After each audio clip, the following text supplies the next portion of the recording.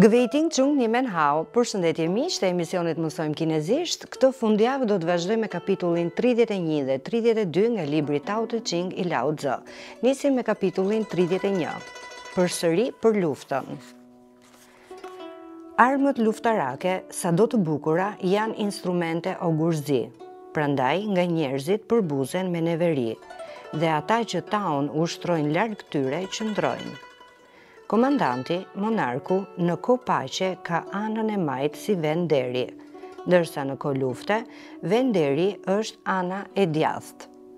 Armët që vetëm fatkeqësi sjellin nuk janë për njeriun fisnik e të virtytshëm. Edhe kur i detyruar është t'i përdorë, ai ruan qetësinë e kontrollin. Nuk fryhet krenar për fitoren e arritur me forcën e armëve.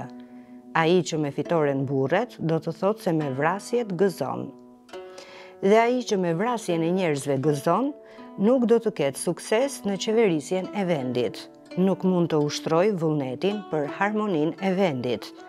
Në ceremoni festive, ana e majtë është vendi i nderit, kurse në ceremoninë mortore, vendi i nderit është ana e djathtë.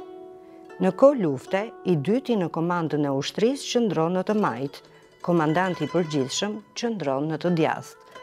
Kjo për të treguar se lufta konsiderohet si ceremoni mortore.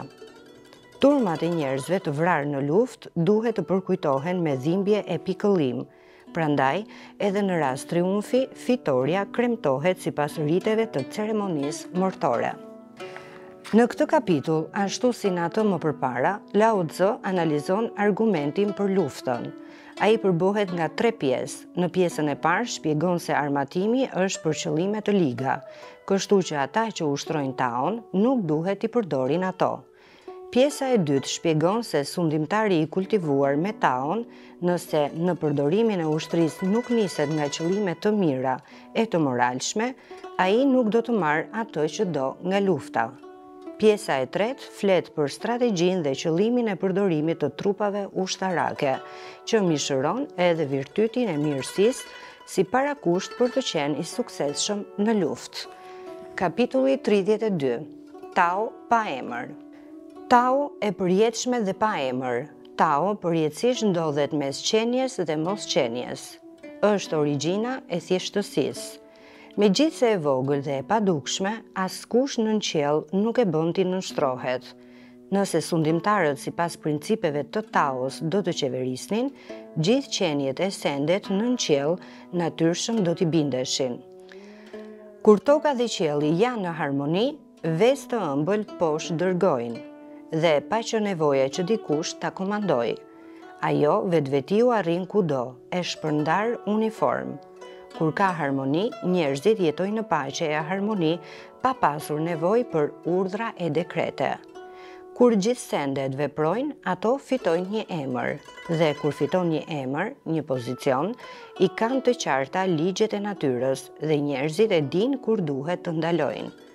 Duke njohur ligjet e natyrës, ato mund të shmangin rreziqet dhe gabimet. Marrëdhënia e Taos me universin është si ajo e lumenjve dhe përrenjve që derdhen në det. Në këtë kapitull theksohen dy ide kryesore. E para që sundimtari, nëse qeveris sipas ligjeve të Taos, do të fitojë dashurinë e njerëzve nën qiell.